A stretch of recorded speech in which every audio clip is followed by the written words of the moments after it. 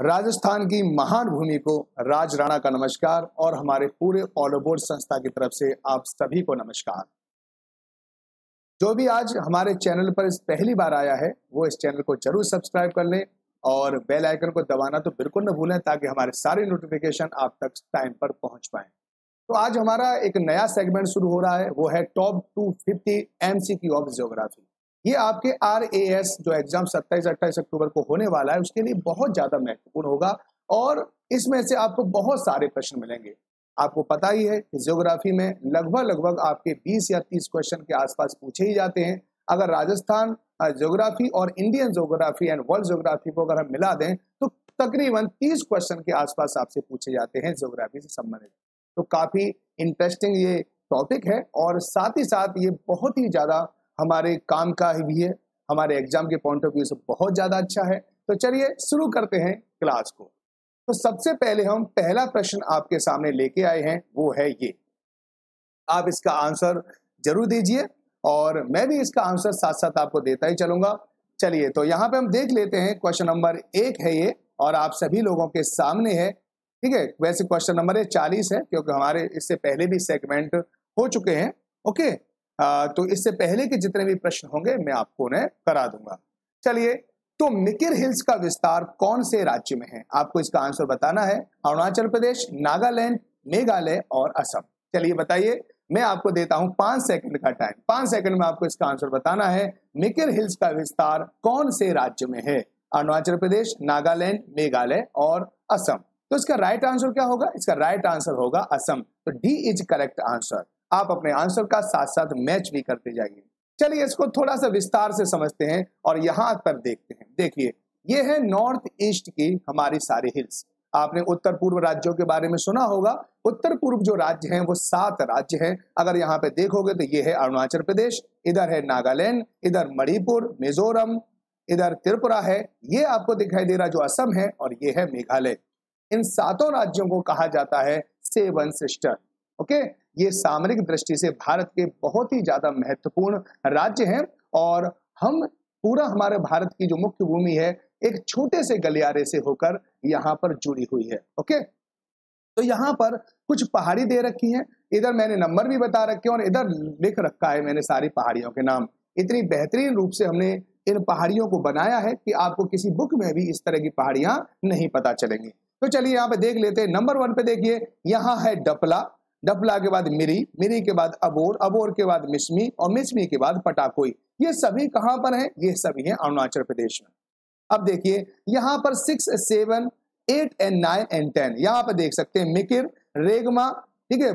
ये है बराइल इसके बाद भुवन, पूर्वांचल। ये सभी जो पहाड़ियाँ हैं, आपको यहाँ पर दिखाई देंगी। ये है आपका असम। तो असम में आपको ये पहाड़ियाँ दिखाई दे रही हैं और आप इस तरह से देख सकते हैं। जैसे मैंने आपसे प्रश्न पूछा था कि मिकिर हिल्स कहाँ पर है तो सिक्स नंबर को देखिए कहाँ पर है, ये है। और ये कहाँ पर है? असम में है। ओके? बाकी हिल्स को भी आप अच्छे से पढ़ लीजिए, जो मैं आपको बता रहा हूँ। इसके बाद आपको देखे, दिखाई देगा ग्यारह, बारह, तेरह, यानी गारो खासी जयंतियाँ। यहाँ पर कौन कौन सी हैं? गारो खासी जयंतियाँ हैं। इसके बाद यहाँ पर नागा हिल्स है। नागा हिल्स के बाद अगर आप देखोगे तो यहाँ पर ईस्ट मणिपुर हिल्स, यहाँ पर जो आपको पंद्रह नंबर पर दिखाई दे रहा है, ईस्ट मणिपुर हिल्स, और 16 नंबर पर जो आपको दिखाई दे रही है, उसका नाम है लेमाटोल क्या नाम है इसका? लेमाटोल लेमाटोल कहाँ पर है? ये हमारा मणिपुर में याद रखना। 17 पर है हमारा मिजो हिल्स, या इसको हम लुसाई हिल्स भी कहते हैं, और अट्ठारहवें नंबर पे दे रखा है त्रिपुरा हिल्स। याद रखो, यही जो मिजो हिल्स है, आगे जाके अराकोनियामा में मिल जाता है। इसके बाद चिन पहाड़ियाँ आती हैं, अराकोनियामा आता है। ये सभी हमारे हिमालय का ही दक्षिणतम विस्तार है, ओके?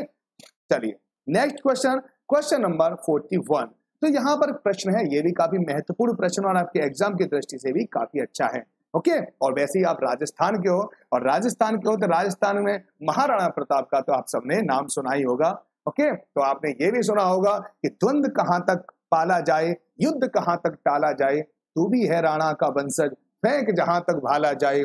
दोनों तरफ़ लिखा हो भारत, सिक्का वही उछाला जाए। तो आप, इसका मतलब क्या है? आपने कभी सोचा?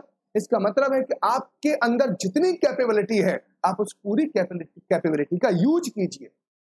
ठीक है? कहते हैं ना कि एक तरह से भाला, यानी जितनी तुम्हें कैपेबिलिटी है, उतना जा दूर भाला जाना चाहिए। इसका मीन्स है कि हमारे अंदर जितनी कैपेबिलिटी है, पूरी तरह से अपने आप को झोंक दो आर ए एस के एग्ज़ाम के लिए। और फिर देखो, जो वहाँ से तुम्हारे अंदर, यानी तुम्हारा एक नया ही अवतार होगा।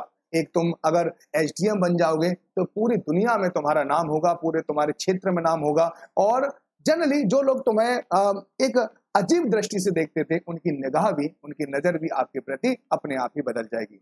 चलिए 41 क्वेश्चन देखते हैं। यह है दंडकारण्य के पठार का विस्तार किस राज्य में नहीं है? यहाँ पे प्रश्न देख रहे ना यहाँ पे पूछा है कि नहीं है। ये ज़रूर याद रखना।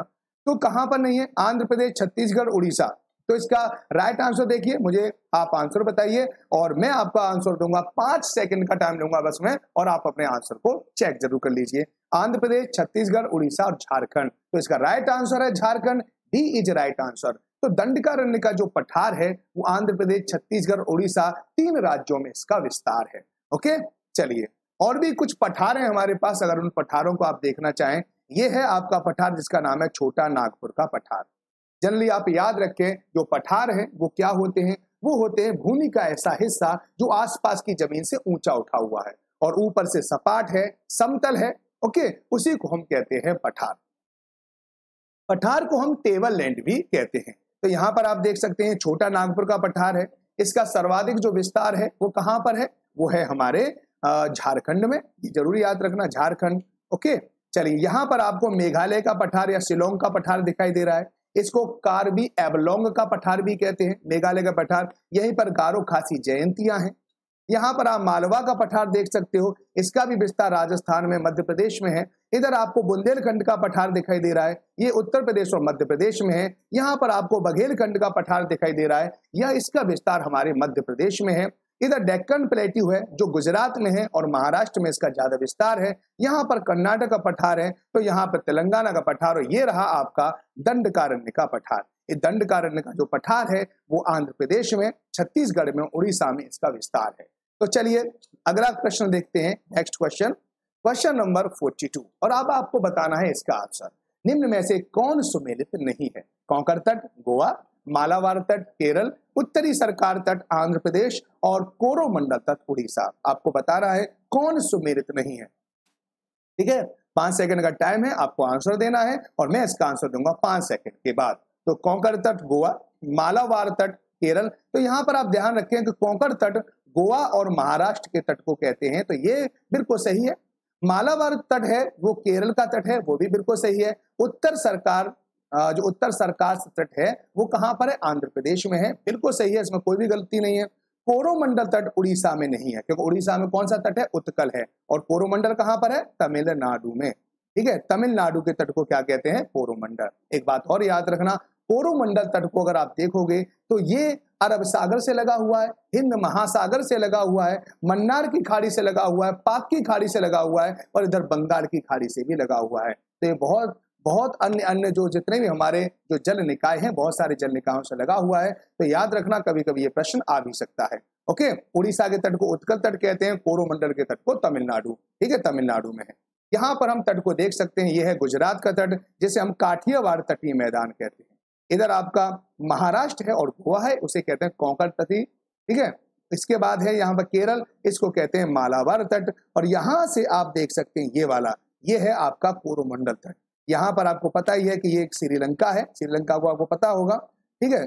यहाँ पर आपकी पाक खाड़ी है, इसको पाक स्ट्रेट बोलते हैं, पाक स्ट्रेट है, यहाँ पर पाक खाड़ी है, और यहाँ पर है गल्फ ऑफ़ मन्नार, ठीक है? और ये सब हिंद महासागर में है, इधर अरब सागर है तो यहाँ से यहाँ से लेकर यहाँ तक ये कोरोमंडल है। यहाँ से लेकर यहाँ तक तो कोरोमंडल अरब सागर से भी लगता है, मन्नार की खाड़ी से भी लगता है, पाक की खाड़ी से भी लगता है, पाक स्ट्रेट भी इसी के पास है और यहाँ पर ये बंगाल की खाड़ी से भी लगता है। तो चलिए इस बात को याद रखना। ओके? यहाँ पर जो आपको दिखाई दे रहा है, ये आंध्र तटीय मैदान और इसी को हम नीचे से कहते हैं उत्तरी सरकार मैदान। तो उत्तरी सरकार पूरे पश्चिमी बंगाल तक, यानी उत्तरी सरकार में आंध्र प्रदेश है, उड़ीसा है और यहाँ पर वेस्ट बंगाल है। चलिए इसको भी याद रखेंगे। नेक्स्ट क्वेश्चन यहाँ पर देख लेते हैं। ठीक है? आज हम आपको साथ साथ बहुत सारे फैक्ट करा देंगे। क्वेश्चन तो दस होंगे, लेकिन हम आपको बहुत सारे फैक्ट करा रहे हैं साथ साथ ओके? चलिए, अब नेक्स्ट क्वेश्चन है question number forty three. Okay? Mumbai Agra मार्ग पश्चिमी घाट के किस दर्रे से होकर निकलता है? अगर आपको मुंबई से आगरा जाना है तो कौन से घाट आपको देखने के लिए मिलेगा? आप ये बताइए थालघाट मिलेगा, भोरघाट मिलेगा, पालघाट मिलेगा, या इनमें से कोई नहीं मिलेगा। ओके? आंसर दीजिए और फिर मैं जो आंसर दूँ उसे मिलान कीजिए और फिर अपने आप को चेक करिए कि हम पेपर जो निकालने के हम कितने पास हैं, कितने करीब हैं और कितने अभी दूर हैं। और अगर आपके कम नंबर भी आते हैं तो बिल्कुल घबराइए मत। अब आप लगातार तैयार करते रहिए। सारी ज्योग्राफी की टेंशन मुझे दे दीजिए। मैं लेके आऊँगा। अभी आपको मैं सिंपल क्वेश्चन करा रहा हूँ।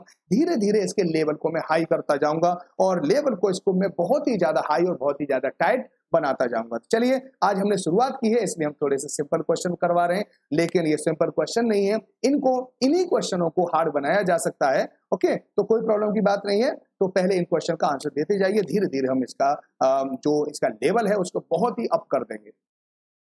तो मुंबई आगरा मार्ग पश्चिमी घाट के किस दर्रे से होकर निकलता है? तो इसका राइट आंसर क्या है? थाल घाट याद रखना, कौन सा है? थाल घाट है, और थाल घाट क्या है? एक दर्रा है। दर्रा क्या होता है?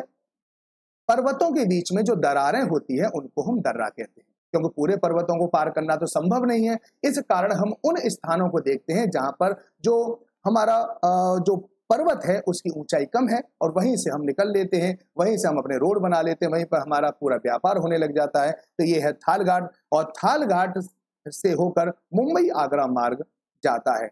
याद रखें, जो थाल घाट है, वो महाराष्ट्र में है। वह मुंबई को नासिक से जोड़ता है, यह भी याद रखना, ठीक है? थालघाट है थालघाट इसके अलावा मैं कुछ और भी दर्रे आपको बताऊँगा। देखो, यहाँ पर मैंने आपको पूरे दर्रे यहाँ पे दिखाने की कोशिश की है। ये पूरा जो आपको दिखाई दे रहा है, हिमालयन दर्रे है। ठीक है? हिमालयन दर्रे में आपको पता है कि यहाँ पर तो हमारा क्या है? ये है। यहाँ तक तो हम देख सकते हैं, ये वाला ऐसे करके आप देख लो। ये तो है जम्मू कश्मीर, ये इस समय पर लद्दाख है। ओके? तो लद्दाख में यहाँ पर बहुत सारे दर्रे हैं। मैं थोड़े थोड़े नाम पढ़ दे रहा हूँ यहाँ पर। मिनतागा पास है। ठीक है? अगर आपको जाना है। अफ़गानिस्तान तो मिंता का पास होके जाना पड़ेगा, यहाँ होके जाना पड़ेगा। इसके बाद है पारपीक पास है, इसके बाद अगिल पास है, इसके बाद काराकोरम पास है। यहाँ पर देखेंगे तो लनक ला है, इसके कैपसांग ला है, जारा ला है, इमिस ला है, ओके? इस तरह से आप याद रखो। जम्मू कश्मीर के दर्रों को भी आप याद रख सकते हो। पीर पंजाल है, ये ठीक है, यहाँ पर यहाँ पर बनिहाल है जोजिला है पेंसिला है, इस तरह से आप याद रखोगे। हिमाचल प्रदेश के दर्रे, यहाँ पर रोहतांग है, ठीक है? यहाँ पर बड़ा लाचा है और यहाँ पर सीपी कला है। यहाँ पर है माना, नीति और लिपलेख ही उत्तराखंड के दर्रे हैं। ओके? इसके बाद अगर दर्रों को देखेंगे तो सिक्किम आ गया। सिक्किम में नाथुला दर्रा है, जेलेपला दर्रा है, और साथ ही साथ एक नाकुला दर्रा भी है। ओके? चलिए, आगे चलते हैं यहाँ पर अरुणाचल प्रदेश में। तो यहाँ पर देख पा रहे हो, आप बुमला दर्रा है, यहाँ पर टंग थंगला दर्रा है, दिहांग दर्रा है, अगर आप देखना चाहते हो तो यहाँ पे दिहांग दर्रा, ये रहा दिहांग दर्रा। यहाँ पर यांग याप दर्रा है, यहाँ पर डेपर दर्रा है ओके, यहाँ पर चौकन दर्रा है। ये सभी अरुणाचल प्रदेश के दर्रे हैं, ये बोमी डेला है। आगे देखते हैं तो ये प्रायद्वीपी भारत के दर्रे हैं। यहाँ पर आप देखिए, गोरान घाट दर्रा ये ये राजस्थान और यहाँ पर कौन आ जाएगा? मध्य प्रदेश आ जाएगा। इन दोनों के बीच में है, अरावली श्रेणी में है। हल्दी घाटी का दर्रा हल्दी घाटी का राजस्थान का कौन सा ऐसा व्यक्ति होगा जो हल्दी घाटी को नहीं जानता? हल्दी घाटी जैसी महान ज़मीन को नहीं जानता है। तो सब लोग जानते होंगे हल्दी घाटी के युद्ध के बारे में। ये वही हल्दी घाटी का दर्रा है। ओके, यहाँ पर ओके इसके बाद यहाँ पर जो दर्रा आपको दिखाई दे रहा है, मध्य प्रदेश और ये महाराष्ट्र और मध्य प्रदेश की सीमा पर है, उसका नाम है असर घाट। असर घाट किला भी काफ़ी महत्वपूर्ण है। आप यहाँ पर गूगल पर सर्च करके असर घाट किले को ज़रूर देखिए। ओके इसके बाद यहाँ पे आता है थालघाट दर्रा। तो यहाँ थालघाट याद रखो, पश्चिमी घाट का दर्रा है। ये मुंबई को नासिक से जोड़ देता है ओके इसके बाद यहाँ पर जो दर्रा दिखाई दे रहा है, उसका नाम है मलसेज दर्रा। इसका नाम क्या है? मलसेज दर्रा। तो ये आपको याद रखना है, मलसेज। ओके? फिर यहाँ पर आपको दिखाई देगा, मलसेज के बाद भोरघाट दर्रा, यहीं पर आपको दिखाई देगा भोरघाट दर्रा, ओके? भोरघाट के बाद आपको दर्रा यहाँ पर दिखाई देगा, ये है कुंबरली दर्रा, कुंबरली घाट, ये कुंबरली घाट है, यहाँ पर गोवा है, जो गोवा से जोड़ता है, ठीक है? इसके बाद है चोरला घाट चोरला घाट यहाँ पर कर्नाटका में है, और पाल घाट यहाँ पर कहा है? केरला में है, याद रखना, ये सारे दर्रे हैं प्रायद्वीपी भारत के काफ़ी महत्वपूर्ण दर्रे हैं, इस तरह से यहाँ से आपसे प्रश्न पूछे जा सकते हैं। चलिए क्वेश्चन नंबर 44 है, कौन सुमेलित नहीं है? आपको बताना है कौन सुमेलित नहीं है। ये भारत के जितने भी जियोमॉर्फिक रीजन हैं, उनका परसेंटेज दे रखा है कि पर्वतीय क्षेत्र पूरे भारत के कुल क्षेत्रफल का कितना प्रतिशत है। तो पर्वतीय क्षेत्र 10.7 है, पहाड़ी 18.6 है, पठारी क्षेत्र 27.7 है और मैदानी 48 परसेंट बताइए, कौन सा इसमें मिसमैच है? तो आपको आंसर देना है जल्दी और मेरे आंसर से आपको उसको मैच करना है। तो चलिए यहाँ पे देख लेते हैं, पर्वतीय क्षेत्र है 10.7 क्योंकि भारत का जो क्षेत्र पर है, आपको पता होगा, कितना है भारत का? बत्तीस लाख सत्तासी हज़ार दो सौ तिरसठ किलोमीटर स्क्वायर बत्तीस लाख सत्तासी हज़ार दो सौ तिरसठ किलोमीटर स्क्वायर का टेन पॉइंट सेवन परसेंट है पर्वतीय क्षेत्र। बिल्कुल सही है ओके, सुमेलित है। पठार जो पहाड़ियाँ हैं, वो क्या है? अठारह पॉइंट छह, बिल्कुल सुमेलित है। पठारी क्षेत्र सत्ताईस पॉइंट सात है, बिल्कुल सुमेलित है। मैदानी क्षेत्र ये अड़तालीस परसेंट नहीं है गलत है, लगभग तैतालीस परसेंट के आसपास है। ओके? तो डी इज़ राइट आंसर यही करेक्ट मैच नहीं है। मैदानी क्षेत्र लगभग लगभग तैतालीस परसेंट के आसपास है। ओके? चलिए, आगे चलते हैं, अगला प्रश्न देखते हैं question number forty five what is the transitive area between two different ecosystem दो भिन्न परतंत्रों के बीच में संक्रांति क्षेत्र को क्या कहते हैं? ठीक है, दो पारिस्थितिकी तंत्र के बीच में क्या आता है? Ecotone ecosphere ecotype and ecad तो आपको इसको बताना है आंसर। तो ध्यान याद रखें, दो परितंत्र। दो परितंत्र का मतलब क्या होता है? जैसे हमारा जो लैंड है स्थल का परितंत्र और जल का परितंत्र, जहाँ पर ये दोनों आपस में मिल रहे हो। ठीक है? घास का परितंत्र है, एक घास परतंत्र है और एक तालाब का परितंत्र है, वो आपस में मिल रहे हो। ठीक है? उन परतंत्रों की ये बात कर रहा है। जैसे मैदानी क्षेत्र है और कहीं पर हमारा क्या है? यहाँ पर है हमारा, जैसे बहुत ज़्यादा वन है तो वन और मरुस्थल जहाँ पर एक दूसरे से मिल रहे हैं, उनको कहते हैं संक्रांति क्षेत्र। मैं अभी आपको एक एग्ज़ाम्पल भी दूँगा। तो इसका राइट आंसर क्या है? इकोटोन इकोस्फियर इकोटाइप इकेड तो राइट आंसर इज़ इकोटोन याद रखना क्या कहते हैं इसको? इकोटोन कहते हैं। चलिए यहाँ पे देख लेते हैं, यहाँ पे मैं दिखा दूँ। यहाँ पर ये आपको यहाँ से लेकर यहाँ तक ये लैंड इकोसिस्टम दिखाई दे रहा है। यहाँ से यहाँ तक क्या है? ये लैंड इकोसिस्टम है और यहाँ से आपको इक्वेटिक इकोसिस्टम दिखाई दे रहा है। ओके? यहाँ पर स्थल पारिस्थितिकी तंत्र है और यहाँ पर जलीय पारिस्थितिकी तंत्र है। लेकिन ये वाला जो ज़मीन है, यहाँ से लेकर यहाँ तक, इसमें दोनों के गुण मौजूद हैं। यहाँ पर लैंड इकोसिस्टम के भी गुण मौजूद हैं और यहाँ पर जलीय परतंत्र के भी गुण मौजूद हैं। गुण दोनों के मौजूद हैं। ये जानवरों के लिए, या जो हमारे जीव जंतु हैं, उनके लिए ये अनुकूल दशाएँ उत्पन्न करता है। यहाँ पर जैव विविधता ज़्यादा पाई जाती है, बायोडाइवर्सिटी ज़्यादा है। यहाँ पर बहुत सारे जीव जंतु पाए जाते हैं, बहुत सारे पेड़ पौधे पाए जाते हैं। ओके? याद रखना यहाँ पर। ठीक? और इको, इसी को हम क्या कहते हैं? इकोटोन कहते हैं। अब इकोटोन में क्या होता है? याद रखना, इकोटोन में क्या होता है? जैव विविधता ज़्यादा होती है। ये इकोटोन का प्रभाव है। इसको कहते हैं कोर इफ़ेक्ट। इसको कहते हैं कोर इफ़ेक्ट। वो भी आपको याद रखना है। चलिए, क्वेश्चन देखते हैं आगे। क्वेश्चन नंबर फोर्टी सिक्स आपके सामने है। कौन सा स्थान तीन सागरों की मिलन स्थल पर है? तीन सागर जहाँ मिलते हैं, अरब सागर, हिंद महासागर और हमारे बेस्ट बे ऑफ़ बंगाल। बताइए, मुंबई, कोलकाता, कन्याकुमारी, गुजरात। तो इसका राइट आंसर क्या है? कन्याकुमारी। राइट आंसर है आपका कन्याकुमारी। ये अभी मैंने आपको थोड़ी देर पहले बताया भी था। ओके कन्याकुमारी कहाँ पर है? हमारे भारत की मुख्य भूमि का दक्षिणतम हिस्सा है। ठीक है? दक्षिणतम, हमारा अगर कोई पूछे कि हमारे जो भारत का सबसे दक्षिणतम बिंदु कौन सा है? ठीक है? मुख्य भूमि का। मैं मुख्य भूमि के बोल रहा हूँ मेन लैंड का। तो कहाँ है? कन्याकुमारी है। याद रखना, कन्याकुमारी पर ही 2.2 मीटर के आसपास विवेकानंद जी की मूर्ति भी लगी हुई है। वही भारत का सबसे दक्षिणतम हिस्सा है मुख्य भूमि का। लेकिन भारत का हो, पूछ ले तो इंदिरा पॉइंट है। इंदिरा पॉइंट को पिगमेलियन पॉइंट भी कहते हैं, जो बड़े निकोबार में स्थित है, वहाँ पर आप जाकर देख भी सकते हैं, ओके? चलिए, अगर इसी तरह से अगर नॉर्थ की बात कर लें तो यहाँ पर कौन है? इंदिरा कॉल है, ये भी आपको याद रखना है। इधर आप देखोगे, पूर्व में कोई क्या है? तो पूर्व में किवधु है, अरुणाचल प्रदेश में है। पश्चिम में कौन है? गौहर माता है, जो गुजरात में है। ओके? चलिए, आगे चलते हैं यहाँ पर। क्वेश्चन नंबर फोर्टी सेवन आपके सामने है। विश्व का सबसे छोटा देश कौन सा है? बताइए। नोरू है, तोवालू है, किरवाती है या मोनाको है? आपको बताना है इसका आंसर विश्व का सबसे छोटा देश कौन सा है? अब आप, आपने सुना होगा, सर हमें तो वेटिकन सिटी पता थी तो वेटिकन सिटी हमने बता दिया। चलिए वेटिकन सिटी तो है, लेकिन इसमें ऑप्शन में नहीं है। तो अब आपको इनमें से आंसर बताना है तो आपको ये पता होना चाहिए कि नोरू है तोबालू है, किरवाती है या मोनाको है तो इसका राइट आंसर है डी मोनाको मोनाको है, ठीक है? वेटिकन सिटी के बाद सबसे छोटा सबसे छोटा तो वेटिकन सिटी है, उसके बाद मोनाको का नंबर आता है, उसके बाद नौरू तो वालू किरवाती का नंबर आता है। सीक्वेंस भी है यहाँ पर, ठीक है? ये दूसरे नंबर पे आता है, वैसे देखें, तीसरे पर, चौथे पर और पाँचवें पर। ये सीक्वेंस और सबसे पहले पर कौन आता है? वेटिकन सिटी याद रखो। आइए इसकी लोकेशन में आपको दिखा दूँ, ये है कहाँ पर? ये है आपका मोनाको। ये फ्रांस है, दक्षिण फ्रांस में एक छोटा सा यहाँ पर एक स्थान है ओके? यहीं पर है मोनाको। आप इसकी स्थिति देख सकते हैं, अपने मैप पे भी देख सकते हो मोनाको को। ओके? यहाँ पे छोटा सा पॉइंट आपको दिखाई दे रहा है, ये वाला पॉइंट। ये नीला सा जो पॉइंट दिखाई दे रहा है ना, ये है मोनाको। फ्रांस में, फ्रांस के दक्षिण में, आपको याद रखना। इस तरह से यहाँ पर जो आपको दिखाई दे रहा है, ये है वेटिकन सिटी ये मैंने आपको वेटिकन सिटी जो सबसे छोटा है, पहले नंबर पे आता है, ये मोनाको है, दूसरा है, दूसरे नंबर पे आता है। ये इटली में जो रोम, इटली की जो राजधानी है, वहीं पर ये छोटी सी जगह है जो यहाँ पर ईसाई पादरी रहा करते हैं, प्रीस्ट रहा करते हैं और वहाँ पर सभी धार्मिक कानून लागू होते हैं। ओके? चलिए, आगे चलते हैं। याद रखना इसको। और दोनों ही, ये जो देश हैं, दोनों ही यूरोपियन कंट्री हैं, आप यहाँ पे देख सकते हैं। ओके? चलिए, आगे चलते हैं नेक्स्ट क्वेश्चन क्वेश्चन नंबर 48 आपके सामने निम्न में से कौन गोंडवाना लैंड का हिस्सा नहीं है? आपको बताना है कि गोंडवाना लैंड का हिस्सा नहीं है, अंटार्कटिका, दक्षिण अमेरिका, उत्तरी अमेरिका और मेडागास्कर। क्या होगा इसका right answer Which of the following was not a part of Gondwana land? Antarctica, South America, North America Madagascar. तो इसका राइट आंसर है उत्तरी अमेरिका। उत्तरी अमेरिका गोंडवाना लैंड का हिस्सा नहीं है। ये याद रखना, ये किसका हिस्सा है? अंगारा लैंड या जिसको हम लॉरेंसिया भी बोलते हैं, उसका हिस्सा है। तो चलिए देख लेते हैं कि आज से लगभग लगभग 25 करोड़ साल पहले ये सारे महाद्वीप जो आज सात हैं, ये सभी महाद्वीप एक दूसरे से मिले हुए थे, एक दूसरे से जुड़े हुए थे। इन्हीं को हमने कहा पेंजिया, ओके?